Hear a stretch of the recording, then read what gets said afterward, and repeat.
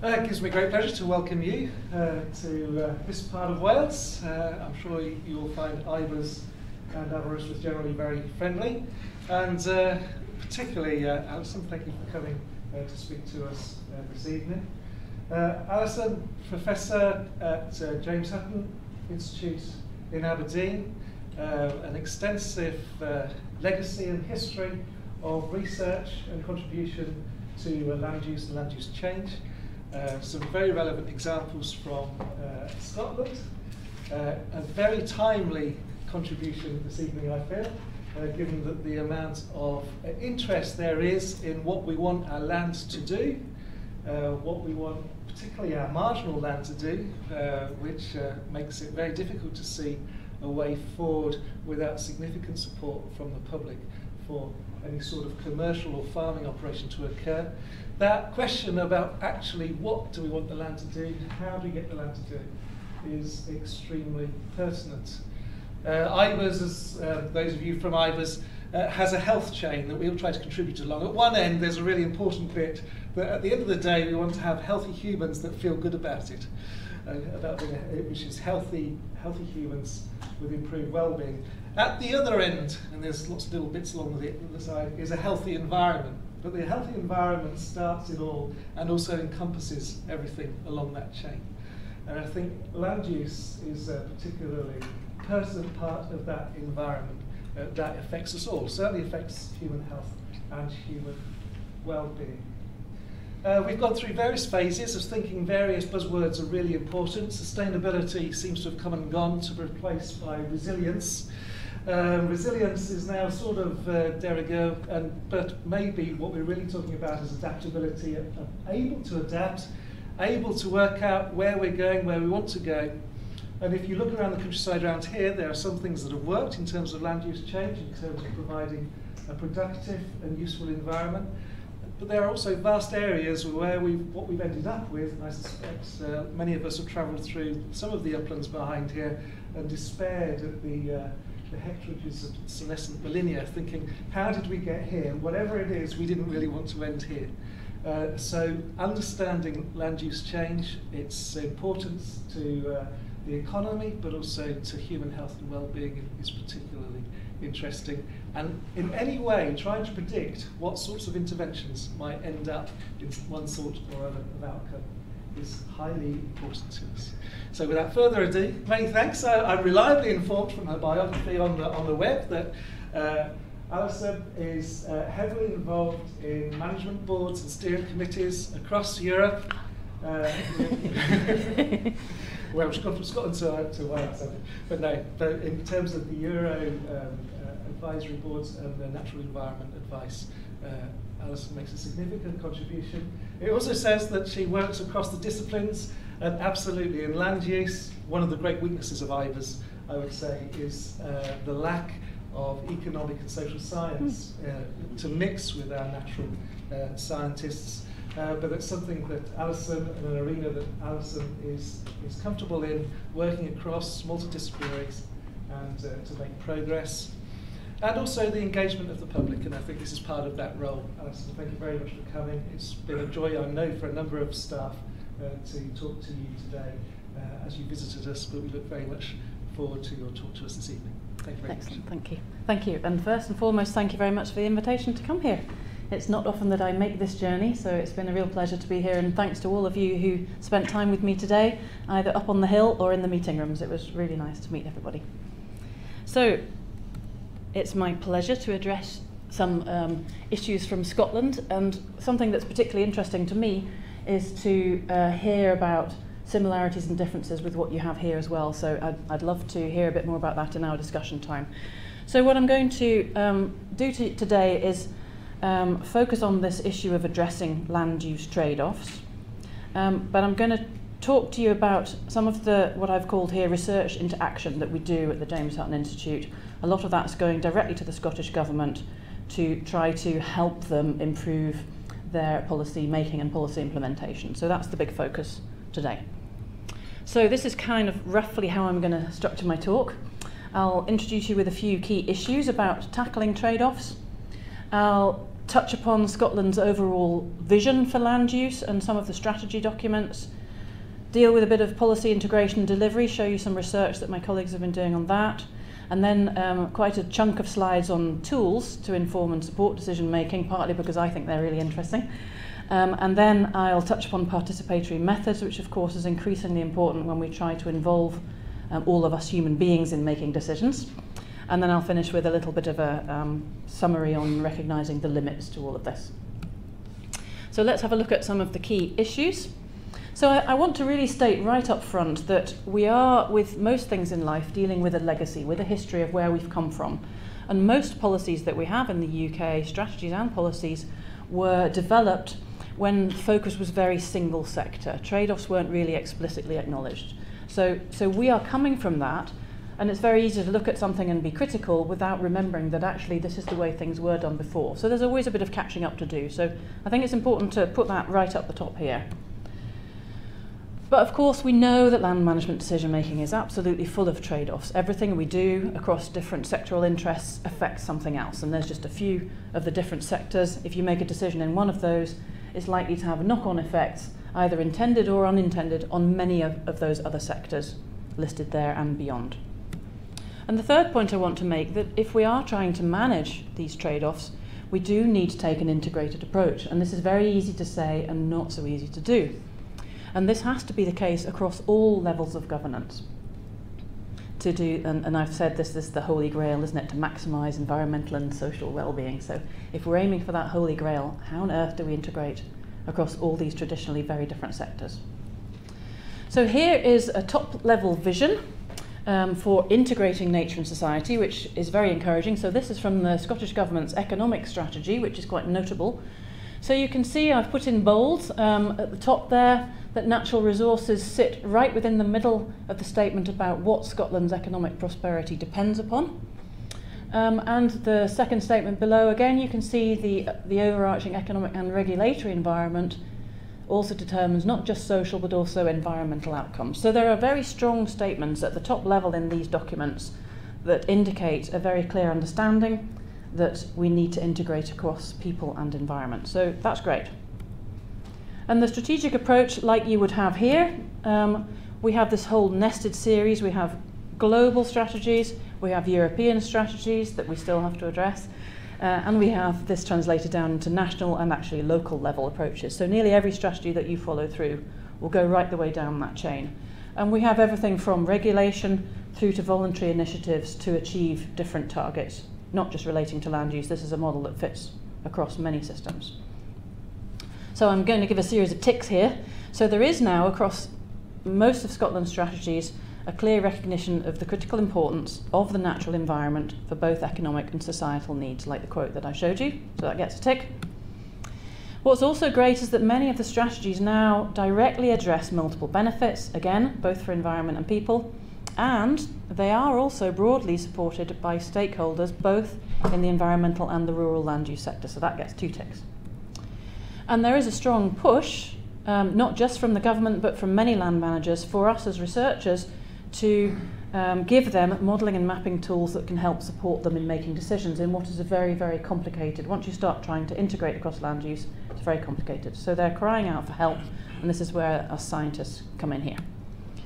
So Scotland's land use strategy is the main one I'm going to focus on today. A lot of the research I'm going to talk is directly commissioned by the Scottish Government to help operationalise this strategy. Come in. And what it is, is it's described as a long term vision, again, for economy, environment, and community, so it's integrating. And the quote here is to recognise, understand, and value the importance of our land resources. It's what's called a steering strategy, which is also a little bit of a departure from how strategies used to be. And the idea is promoting integrated and innovative land use decision making for multiple benefits. Sounds great. It's very strongly focused on this lovely new concept of the ecosystem approach and it's directly addressing trade-offs. So for those of you in the room um, who either don't like or don't um, follow some of these new terms that keep coming and going, which you mentioned earlier, here's the definition from the United Nations Convention on Biological Diversities. So it's basically about integrated management of natural resources, But important to note is that it, as well as promoting conservation and sustainable use, these words in an equitable way. So the idea is that everybody benefits equally. So what they did in Scotland was they set up two regional land use pilots to help test and operationalise this land use strategy. So they, they were carried on for a number of years. They've both reported, they took very different approaches, reported, sent the reports into the Scottish Government, and we're waiting now for their response on what they want to do next. So there's a lot of learning in there, and hopefully they'll come up with some nice decisions on, on where they go next in terms of operationalising this strategy. So the research that we do at the James Hutton Institute related to the land use strategy is basically aimed to support implementation of this strategy by, for example, developing and analysing different approaches which might be taken, explicitly examining trade offs, um, developing and testing different tools, and also looking at the importance of different governance approaches to the success of implementing a strategy like this. So there's a whole range of different disciplines involved here, and I'll touch upon some of them as I go through. So, of course, top level statement here if you're trying to operationalise an integrated vision, you've got to have good integration across policies. So the piece of research I want to tell you here, in fact, I will take a point of noting that you will see this middle screen's a little bit washed out, but these two screens are okay. So whenever you're struggling to see something on there, put your eyes to the left or the right. So the land use strategy, as I um, indicated, it has a strong strategic vision and it has a good steer. But the question that our researchers were looking at was basically, do we have appropriate policy instruments in place to help deliver these multiple benefits and address these trade-offs as required by the strategy. So what they found immediately when they looked at the um, uh, policy instruments was that it's a very crowded and very complicated network of instruments. And the trouble with that on the ground, if you're a land manager or a land user, is that there can be a perception that some of these policy instruments are, are contradicting each other. So they, they, there's a lot of comment that they, there are policy conflicts and what do we do. So that's one of the things that researchers specifically looked at. So what they did in this piece of work example that I'm going to give you today is they basically looked at policies specifically written for water, biodiversity and soil. And they picked 10 policy instruments out of more than 50 addressing these three. And they covered again incentives through regulations and advice. So I'm going to show you a delightful diagram now which you don't have to read all of. this is my simplified version of what the researchers gave me. So basically, I'll take you through roughly what it shows, and then I'll just give you three highlight messages from it. So on the left-hand column there, you can see those are the three focus areas that I told you about. So you've got water, biodiversity, soil, and some which actually link across all three. The second column, you've got what are called the parent policies or the legislation. So if you just look at that blue box at the top, you can see all of those relate to water, so we've got the EU Water Framework Directive, which uh, still we address and we follow. And each of the countries, you'll have done the same here, has their own um, brackets Scotland Act, brackets Scotland regulations. So um, it's translated down to the Scottish level in those second two boxes. Follow that across to the third column. You can see that there are two lines coming out. One is called the Water Environment Fund, and the, below that is called Controlled Activities Regulations. If you then follow the Water Environment Funds to the final column, um, you'll see it's called an incentive. So that one is incentivising people to do something.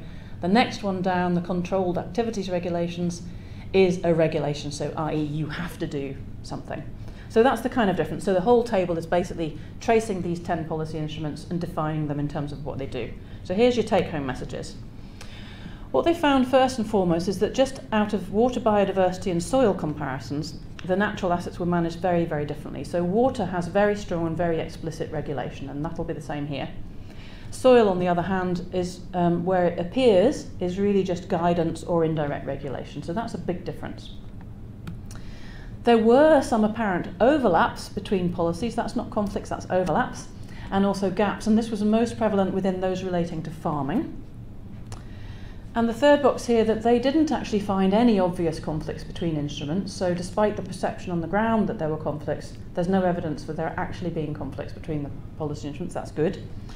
Um, they also didn't find any integrated instruments. You can see I've written fine, question mark. It may be okay if none of your policy instruments actually integrate as long as they can work together. So what they then looked at is how was the cross-referencing between these instruments, and that's where they found much poorer cross-referencing than they would expect to see if these policies are really all working together. So that's an area that then they can go back to the Scottish Government and say, well, this is where we think you need to have a look more closely at how your policies are actually cross-referencing each other. So let's have a look then, if we are wanting to improve delivery of these policies, what are some of the key high-level issues? So as we know with anything in life, doing something differently is not always easy. It needs a lot of time and it needs a lot of skill. So for example, the land use policy introducing this thing called the ecosystem approach doesn't mean anything to most people in Scotland. So it's got what my um, social science colleagues call sticking points, and they've written a whole series of papers on it, which you can see at the bottom if you want to follow up. Um, and these sticking points have to be identified and addressed if we're going to introduce a new approach like this and actually have some success. So you see the little red arrow that's appeared on the right there. My colleagues found that most of these sticking points where the ecosystem approach kind of got stuck and didn't go any further were either institutional, for example, an administrative procedure that made it difficult to work across disciplines, or they were cognitive, i.e., people's ways of thinking hadn't caught up with this new approach, or they were political in that maybe a, a current regulation or a policy or a, a funding mechanism is actually making it very difficult to do integrated land use. So those are the three main areas um, where there are what's called sticking points.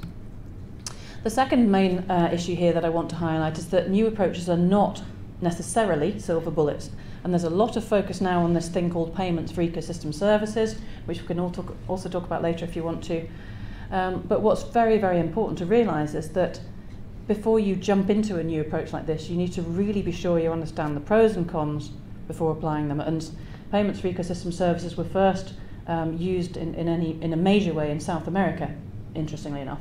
And sometimes there's been some absolutely disastrous consequences because they weren't aware of the wider impacts of something that they were then paying the land managers to be doing. So it's it's great on paper, but it's very, very challenging to do. And part of this is just because there's there's data shortages across the, the range. So the third point here is that, that it is very important also to be aware that the best times to make change are when uh, what's called here windows of opportunity align. So when the problem and the politics and the capacity align, and whatever we might think about Brexit, we do have an opportunity here to rethink completely the way that our policy instruments are written and the way that they work.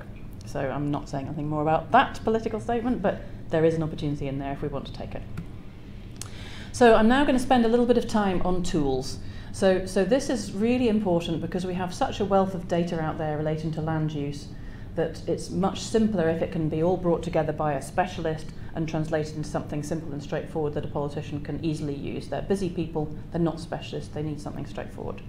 So here's the top level really of, of what I see to be the key requirements here if you're making a tool for land use. Of course, step number one, we need to map natural resources, not only what's there, where it is, but also what state it's in. We need to now um, look at the ecosystem services, again, another buzzword, what services are actually being produced by different natural resources, but also what the potential is that's not being realised. And of course, everything sits now in terms of this global change context, and we have to think about that when we're planning now. What about the future? Second important requirement is a stakeholder analysis. So just knowing about your natural resources alone is not going to get you anywhere. We need to understand how and where they're being used, who's using them, what are the impacts of that use, again, not just in space, but also in time. And the third big area here is about governance. So this is basically um, the this definition that I like is is who has the authority, who's making the decisions, and who's accountable. And again, that operates across all sectors and all scales. It's really important because that's what's going to make a policy succeed or fail. So here's uh, another beautiful slide to illustrate that actually we're in a very exciting era for data and data analysis. There is a, an absolute host of information out there, and there are fantastically powerful computing facilities now to bring this together and make sense out of it. So if I just run you through the, this, um, I'm not sure if I, oh yes, there is a pointer on here. If we start at top here, there is increasingly improving Earth observation information um, through from the traditional satellite imagery, and now you can you can get almost daily updates on things, and um, you can go down to very very detailed scales. So that is incredibly impressive nowadays. And that doesn't just give you on the information on what resources you have, but increasingly people are being able to actually look at what condition they're into just from Earth observation data. In Scotland, we have what's called the National Soil Inventory of Scotland. So it's a, um, very long legacy of soil sampling, which gives you a really strong baseline. Um, I don't know if you have something similar in Wales. It'd be interesting to ask that. There are also a whole series of um, data sets on land cover and land use. You again will have all of these same data sets for Wales. There's very good ability to do digital terrain modelling now. And there are all these things that I've just lumped under this natural heritage category. We've got a heap of data on habitats, species, protected areas, cultural artifacts, you name it. There's a huge amount of data. And then over on here, this is perhaps the newest and the most interesting in some ways, is what I've called here volunteer geographic information.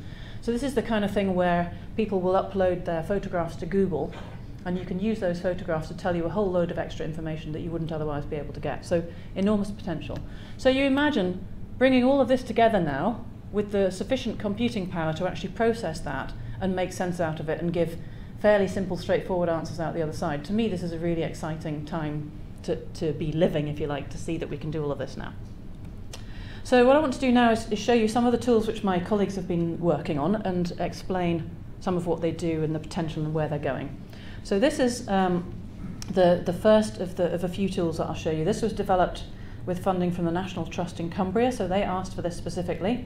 And they basically wanted to, to get an idea of how best to manage um, Cumbria and its natural resources. So what our colleagues did was, was basically create what, what are called opportunity maps. I've just given you four examples along the bottom here. So what these do is identify from all the best available data where a particular ecosystem service um, has good or bad potential. So this, for example, is carbon storage. So good will be the blue and red will be the, the bad. Um, and uh, this is erosion regulation. This one is um, timber production. This one is cultural heritage. So there are hundreds of these opportunity maps across all different ecosystem services. So what the scientists do is bring these all together and um, produce first the opportunity maps, and you can do it just for these individual functions like I've shown you here, or you can do it for combined functions as well and have a look at the where you might get the best of three different services, for example. And then uh, the important point here is that you then bring this to a workshop, for example, and you ask the stakeholders to actually say what are their land use or ecosystem service priorities. So in this case, National Trust in Cumbria, what are your priorities and what are the people who are living there in the land, what are their priorities? So the output then is a whole range of land use change options, different scenarios, and advice about what they might do and where in order to achieve the aims that they're saying that they want. So here's an example with a, a screenshot of, this, of the technicalities.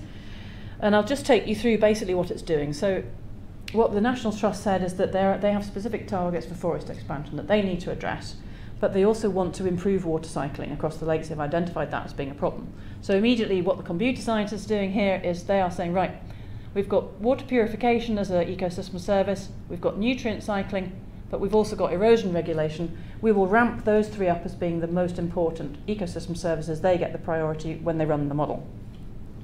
Then there's these three requirements that are specified by the client. So this is the target, 10,000 hectares of woodland expansion. Um, importantly, they want no arable decrease within Cumbria at all. They want to keep it exactly as it is. And they want no land use change in protected areas. So no, none of this woodland expansion can happen in arable areas or in protected areas. So you just put all those constraints into your model and it comes with a, up with a map like this and this is where this isn't very good screen, you can see it better on these two.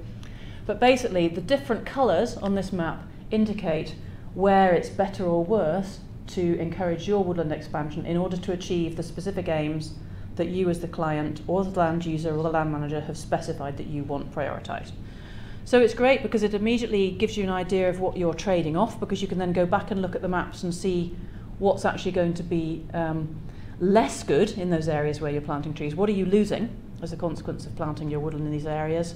And it's really powerful in terms of aiding decision making when you get people together and they see this and see the bigger picture that none of us can see in our individual areas where we live. It's very, very powerful for helping to achieve consensus. So that was Mark 1. Mark II is now called Melodic, and it's on the web, so you can play with this yourselves. So this is back to Scotland, and this is directly addressing some of the government's requirements. It's again a series of opportunity maps, um, and it's it's exactly the same intention. It's a web-based mapping tool, and its idea its idea is to support decision making about land use for multiple benefits. But the difference here is because it's web based and it's interactive, you can either um, look at it on your own or you can look at it together, you know, as an individual or in terms of looking at a particular policy regulation. You can do what you want. So that's, that's what people do, and then they can immediately get a, one of these maps like I showed you for Cumbria and visualise where the best recommendation would be to do something, but what the consequences would be for anything else. So re really, I think it's a brilliant tool. But, as with all the buts, what they found, uh, the biggest limitation of this is actually data, and particularly when you go down to local scales. So national level data is actually pretty good for a lot of these different um, categories, but local data is a real problem. So here's an example of a screenshot just to show you what it looks like, and you will see, uh, uh, probably better on these sideways screens, but these are all little bars that you, when you're actually uh, um, accessing the web page, you can move those bars right or left and make your own decisions about what you want to be the most important. And this map will change when you move those bars right and left. So you can immediately see if you're going to prioritise water, for example, like in, I showed you in Cumbria, how where you should plant your woodland will change. And if you then prioritise something else, you'll see it could move to a completely different place. So this brings me neatly to uh, what I said at the beginning. It's not just where you put stuff, but it's what about the future. Are you thinking about what you're doing now and what might be the implications in future? And I want to spend three slides on that. So I'll stick with the woodland expansion, partly because it's my favourite topic area as well, but it's also because it's, there's a really nice example here of why it's important to look ahead. So we have in Scotland a target to expand Scotland's woodland area to 25% by 2050. We're woefully behind, Um, but the intention is still there, and there's a lot of hard work going on to try to do that. So there are a whole range of aims for this. Yes, we um, are trying to meet the EU, translated into UK and then Scottish level biodiversity targets. We're also trying to meet greenhouse gas emission targets, and you can see I made a little bit of a gap there between S and Torridge. um, and of course, there are strong recreation benefits of woodland in the landscape, landscape benefits, and so on. So there's a whole load of reasons why this target's been set. But there is also this key issue of trade offs. They want to expand the forest by this amount, but not through unduly compromising something else that is also considered to be important. So, for example, food production or heather mould, which also has European designations for its protection and its expansion. So it's, it's a classic example of trade-offs, and I uh, think this is a really nice example that I'm going to show you next. So this is where spatial and temporal analysis is really important. So what I'm going to show you is work that was done a couple of years ago, um, led by my colleague Alessandro Gimona. Um, it's, in my view, one of the best examples of why you need to think ahead. So what this is on the left-hand side here is a model looking at um, the potential for joining up existing broadleaf woodlands and making a network to allow species to move, for example, move north if the climate gets warmer and they need to relocate. So he's um, been looking at how you can try and make a kind of overall estimation of permeability of the landscape effectively that allows a kind of um, the, the maximum number of woodland associated species to be able to move. So that's what this is showing you on, on the left here. All the little red dots that you can hardly see are the existing areas of broadleaf woodland. And um, the green and blue represent the, the degree of permeability, basically, so how good it is to make a network. So if I'm looking at it as an ecologist and saying, well, I want to know where the best um, potential areas are to allow species to move north, you would immediately say, well, okay, you can see one really obvious one here, um, which would allow them to move north. So it might be really important then to prioritise new woodland expansion in that area where you can see an obvious potential for them moving north.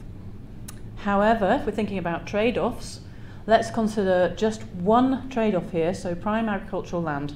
The map here shows you the current prime agricultural land. All the green areas are defined at the moment as prime agricultural land.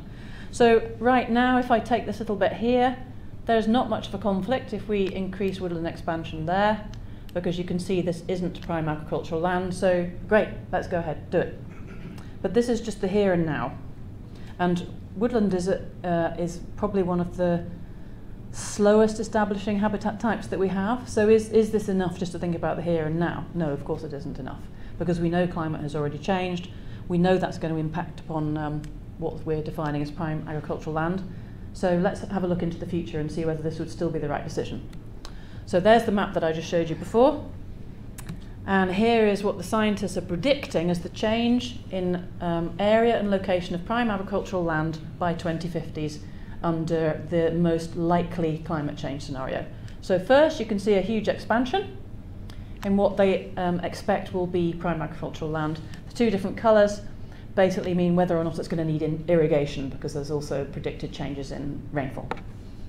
So the point that I want to make then is if we go back to where there's a big gap here actually some of that gap is now is likely to be filled, if you like, with prime agricultural land. So if we have prioritised woodland expansion um, through that critical network there, just a little thin line to allow species to move, and then by 2050 it actually becomes more important to put crops back there. If, if that forest that we've carefully established 30, 40 years previous gets chopped down again, then we've lost our route north-south. So a lot of land use decision making um, now absolutely critically has to think about things like this. And there's actually very little done as explicitly as this to say, hang on a minute, let's have a look at whether that's going to be the right decision in the future. And in fact, even this is oversimplistic because this is assuming that um, agriculture will still be as important as it now as it is now. And we actually don't know if it will be as important, more important, or less important by 2050. So it's not just about the biophysical status here, which I've shown you, it's also about social norms and what we're actually wanting to do as, as human beings. So this is just one in a very complicated question, but it makes the point really clearly that we've got to think ahead. So um, what I'm doing here then is translating what I've just told you already. um, this is the bottleneck here. Um, so all the brown areas on here now indicate where um, there's going to be the biggest conflict with predicted prime agricultural land in the 2050. So that makes the point that I just made on the previous slide. So what I want to do now then is, is move on to perceptions. There was a quite a nice introduction to that in terms of thinking about how we're going to prioritise agriculture in the future. So this is a whole area of research from our social science team. Um, because again, if, if you, you can make as many policies as you like, but if they aren't deemed to be something that people want to do, then many of them will fail. So it is really important to try to work out how can we incorporate people's perceptions and preferences and needs better and, um, and actually um, help alter land use decision making for the better. So this is a fairly obvious statement that we can't optimize to a specific best outcome for everybody. Everybody's got different perceptions, uh, needs, trade-off, you know, everyone thinks differently about this. So we can never get a single best outcome. So here's the critical elements for applying those tools and others that I just showed you examples of. First of all, defining what all the different criteria are that come into decision making. Like I showed you some, you know, a very small subset of examples as we went through those future scenarios. And allow people to actually change the weighting so they can see the implications of their perception. So if they think A, B, and C are important, um, why should they be aware of the wider consequences of A, B, and C? I wouldn't be aware of them unless I was able to use a model like that. So that's a really important thing that the models have to be able to do is to help people visualize the wider consequences of any decision that they might make. And then you have to do this process of collective deliberation to actually allow people to come to some kind of consensus because there will be trade-offs, there will be losses for all of us in terms of any decision. It, it'll never go exactly the way that everybody wants because not everybody wants the same thing. So um, there is a growing toolkit, of participatory methods. There's a whole industry out there. Um, and the, the idea is just to try to make this process as successful as possible. The way it used to be done in the past was just to have a stakeholder meeting, tell them what you were going to do, listen to a few opinions, and then go and do it anyway. So it's much better now, and, and you know, some, there's some really sophisticated techniques out there which I think are working really, really well. And one of the key components of successfully applying some of these land use mapping tools that I showed you is, is this key thing about discussion. So I've got an example that I will show you on the right hand side here. And for this, this ecosystem services approach where you are trying to consider sustainable use, conservation and equitable benefits, it's, it's, really, it's actually a very useful framework to help us all realise the wider implications of a decision we make. So what I've got on the right here is a region of Scotland, Perth and Kinross, where our um, modelling scientists um, created those opportunity maps that you saw before. And this is an amalgam sh um, basically showing where would be better or worse for siting wind farms. So um, the colours are irrelevant here, but you just see that there's a spread. So um, in terms of all those different um, national data sets and local data sets all going into those models, that's what comes out. What they then did was actually take this map, two different stakeholder groups living in that region, and ask them to say, well, okay, there's lots of other reasons why you may or may not want a wind farm somewhere. So let's discuss all of those other things and come to a consensus about where we really don't ever want to have wind farms, even if they're really suitable areas, and where we, we would actually most like to have them. So this tiny little map down here is the end result when you've actually taken people's opinions and views and wishes into account. So now there's a very clear avoid these red areas at all costs. We don't want wind farms there for, for a whole host of reasons. And the blue areas are where they would absolutely most like them to be sited. So that is only done through a process of getting all the biophysical data together, but then translating it through what people want. So a nice example of something that I think we'll see more and more of now in terms of decision making. So what's also in development, I'm just going to flag this, and this is the next step that um, scientists are making. Again, it's not just in the James Hutton Institute, it's everywhere. It's basically allowing people to interact much more closely with maps.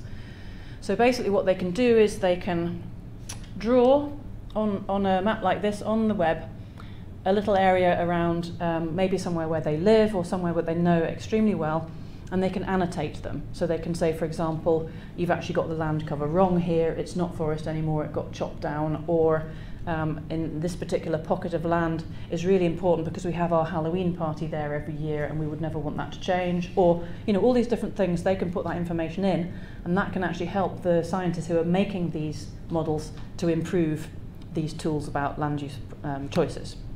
So how it's being used at the moment is in workshops um, for what's called participatory mapping, but also there's great potential here to use it remotely so you can send things out to people.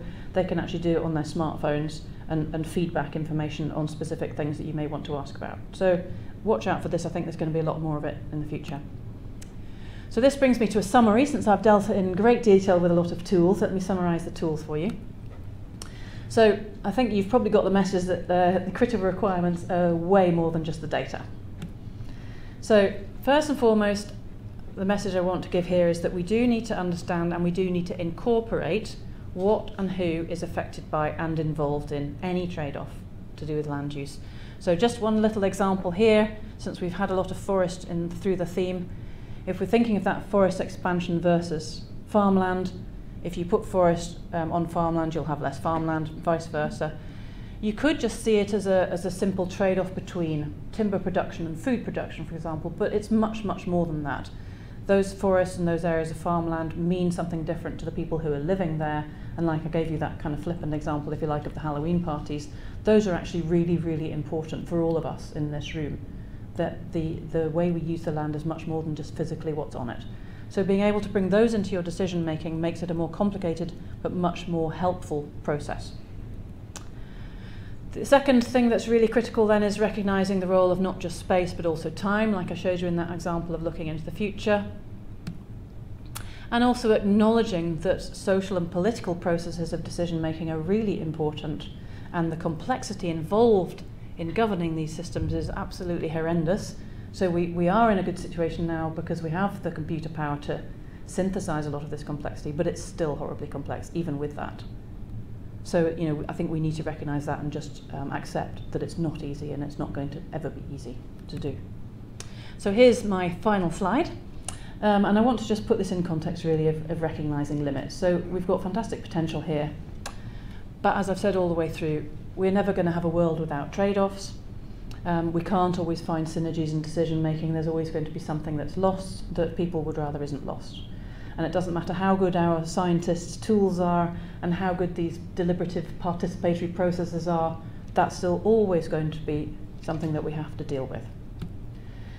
So the research that we do, like the examples I've shown you, shown you today, it can provide really important information to help decision making, particularly in something as complicated as land use. It can help address where things are more or less certain, which is also really useful for politicians to be aware of. They, they're very happy when we can tell them something that, that has a high degree of certainty and something that doesn't. And in fact, they're explicitly asking us for that now in many of the reports that we give. We have to have this uncertainty scale against every statement that we make. It also can highlight issues that may not otherwise have been picked up. So it is really useful what we do. However, the actual choices of trade offs are not being made by us as scientists, we're just informing the process. So you'll see a whole load of, of uh, different colours here. So these are the different levels at which these decisions are being made. So government, first and foremost, in terms of their policy design, are um, making trade-off choices straight away. And particularly if they're regulated regulatory policies, that's a very clear trade-off decision. In green, you've got government as well, you've got the NGOs, and you've got the private sector who are giving funding and other support. So they're also hugely influencing trade-off choices just by that funding and or incentive scheme. And then in red, we've got all of us who are managing the land who are implementing all of these different policy instruments to actually make something happen on, on the ground because there's also flexibility at that level and one farmer and, and his neighbour may be doing something completely different even within that same set of policy incentives. So there are three very important and very different levels of impact on trade-off choices. And on top of all of that, there's strong, strong influence from those of us who don't manage land, but we're consumers and um, we're having a say at whatever level we have a say in what's going to happen to the land. And finally, of course, the research that we do is just part of this governance process. So our evidence, of course, has got to be robust, it's got to be visible, it's got to be effective, we've got to be very clear about where things are and are not certain. And this goes right across the science policy practice spectrum and that's also very important as a scientist. I've got to be able to communicate this to the right people. Otherwise again it's just going to sit in a dusty computer somewhere and not actually be used. But the success of all of this research that we're doing is completely dependent on policy and institutional change. Without that it doesn't matter what research we do it's not going to translate through into action. So that's my last slide. Um, I'd like to thank the Scottish Government in particular because they funded most of the work that I've talked about today. Um, I'm really curious to hear a bit more about uh, similarities and differences that you may be aware of within Wales. Any other comments or questions that you might have um, would be um, welcomely received and I'll see if I can do my best to answer them. Thank you.